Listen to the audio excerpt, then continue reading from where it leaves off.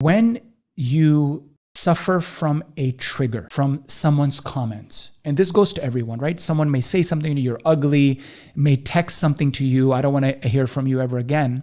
Take the concept of gratitude mm. and humility and compassion to address the trigger. I've heard this in many different speakers that I follow, YouTubers especially, discuss this exact topic because they deal with it on a massive scale.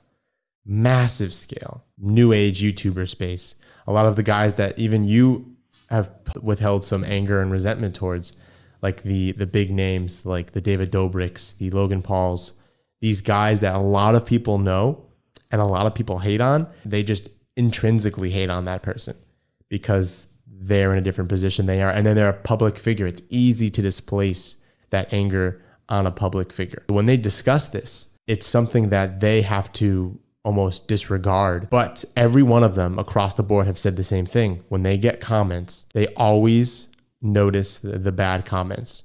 That's always the easiest one to to dwell on, no matter who it is. They'll have a thousand comments that are like, I love you so much. You're the best. You changed my life. You made me so happy. But the detriment of the negative comments outweigh the positivity of the supportive comments.